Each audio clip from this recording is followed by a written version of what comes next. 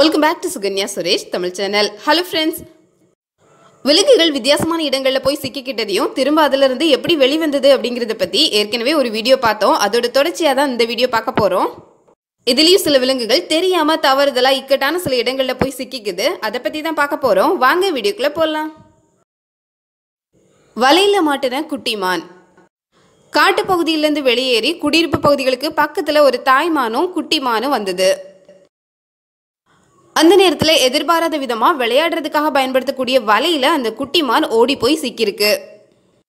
குட்டிமான் வெளியே வர முயற்சி பண்ணும்போது அதோட ஒவ்வொரு காலும் வலையோட ஒவ்வொரு பக்கங்கள்லையும் சிக்கி ரொம்பவே சிக்கலாக இருந்தது.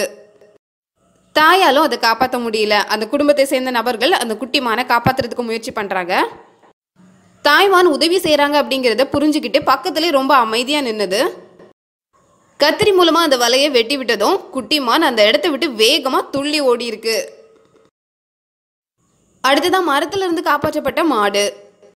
கிராமத்துல மாடு ஒன்று புல் மேய்ஞ்சிட்டு இருக்கும்போது மரத்தோட அந்த பக்கத்துல இருந்து இந்த பக்கமா புல் மேயும் போது அதோட தலைப்பகுதி கரெக்டா அந்த மரத்துல மாட்டி இருக்கு ரொம்ப ஸ்ட்ராங்காக இருந்த ரெண்டு கிளிகளுக்கு இடையில் அதோட தலை மாட்டிக்கிட்டதுனால மாடு அதை எடுக்கிறதுக்கு நிறைய முயற்சி பண்ணும்போது அது இன்னுமே சிக்கலாயிருக்கு. அதோட தலை ஒரு பக்கமாக அதோட உடம்பு இன்னொரு பக்கமாக அப்படின்னு புரண்டு போயிருக்கு. மீட்பு பணியினர் வந்து முதல்ல அதோட தலையை தூக்குறதுக்கு முயற்சி பண்ணாலும் அது பலன் கொடுக்கவே இல்லை. திரும்ப மரத்தை ரொம்பவே அசைச்சு பார்க்கலாம் அப்படின்னா மரமும் ரொம்பவே ஸ்ட்ராங்காக இருக்கு. கடைசியாக அதோட உடம்ப நல்லா நேராக்கி வைக்கலாம் அப்படின்னு புரண்டிருந்து அதோட உடம்ப நேராக மாற்றிருக்காங்க அடுத்த கட்டமாக ரெண்டு பேருமா சேர்ந்து அதோட தலையை தூக்கவும் மாடு மரத்துலேருந்து வெளியே வந்திருக்கு. விட்டா போதும் அப்படின்னு அந்த இடத்த விட்டே காலி பண்ணி ஓடி போயிருக்கு. அடுத்ததாக காண்டா மிருகம். காண்டா மிருகத்தோட வாய் கரெக்டாக ஒரு கார் டயரில் மாட்டியிருக்கு. காண்டா மிருகத்தோட முகத்தில் ஒரு பெரிய கொம்பு இருக்கும். டயரோட மேல் பகுதி அதோட கொம்புலையும் டயரோட கீழ்ப்பகுதி அதோட தாடையிலையுமா மிகச்சரியாக கரெக்டாக அது பொருந்தி இருக்கு இதனால காண்டா மிருகத்தால் சாப்பிட முடியாது. கார் டயரை அதோட முகத்துலேருந்து எடுக்கிறதே பெரிய சவாலாக இருந்திருக்கு. இதை பார்த்த அதிகாரிகள் காண்டா மிருகத்தோட வாயிலிருந்து அந்த டயரை வெளியே எடுத்து விட்டுருக்காங்க. அதுக்கப்புறம் தான் காண்டாமிருகம் நிம்மதியாக சாப்பிட்ருக்கு முகத்தில் இந்த மாதிரி ஒரு கார் டயர் சிக்கிக்கிட்டு அதை தூக்கிக்கிட்டே தெரியுறது எவ்வளோ கஷ்டமாக இருந்திருக்கும் இருந்தாலும் இந்த காண்டாமிருகம் அதுலேருந்து காப்பாற்றப்பட்டிருக்கு. அடுத்ததான் மலையில் மாட்டிக்கிட்ட ஒரு கர்ப்பிணி ஆடு. ஆடுகளில் பல வகை இருக்குது இந்த வகை ஆடுகள் மலைகளில் ரொம்ப அசால்ட்டாக நடக்கக்கூடியவை.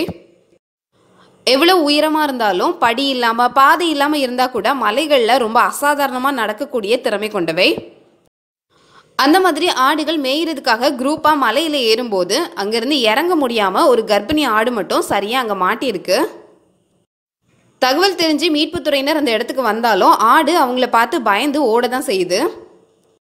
பல முயற்சிகளுக்கு அப்புறம் பாதுகாப்பான வலையை ஆடு பக்கத்தில் வலுக்கட்டாயமாக கொண்டு போய் அதை தூக்கியிருக்காங்க.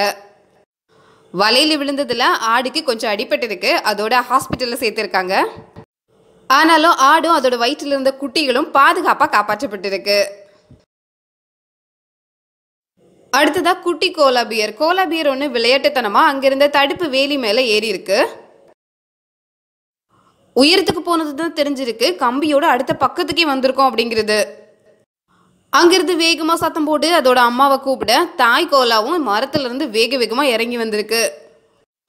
குட்டியை இந்த பக்கமாக கொண்டு வரதுக்காகவே கோலாபியர் கம்பியோட முக்கால் உயரத்துக்கு அதுவே ஏறி இருக்கு தாய் கோலாவோட தலை பக்கத்தில் வந்ததும் தலையை கெட்டி பிடிச்சிட்டே அப்படியே இறங்கியிருக்கு.